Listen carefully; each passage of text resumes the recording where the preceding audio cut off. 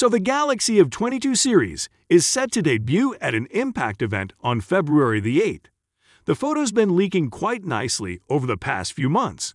But the biggest shocker is that the Galaxy S22 series. It's set to debut at $100 more than the previous year. The Galaxy S22 and S22 Plus design will sort of look like the previous S21, but have a more contour-cut camera that doesn't stick out as far a 50 megapixel main sensor on the S22, but 180 megapixel sensor on the Ultra. All phones have a 10 megapixel telephoto lens with a 3 times optical dot, but the Galaxy S22 Ultra gets an additional 10 megapixel 10 times optical sensor.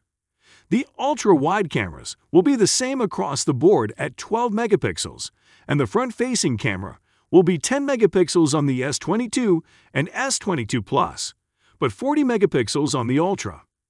Considering how expensive these phones are, it should have never come with a plastic back to begin with.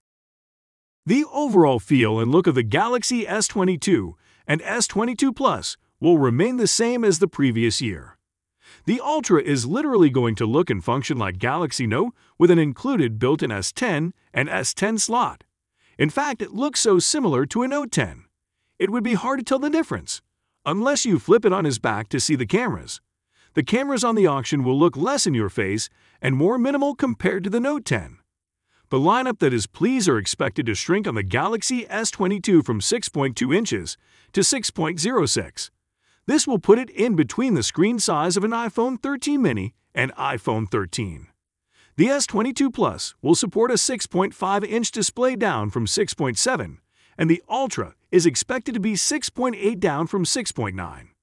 The Samsung Galaxy S22 Ultra is going to have the world's brightest display rated at 1750 nits.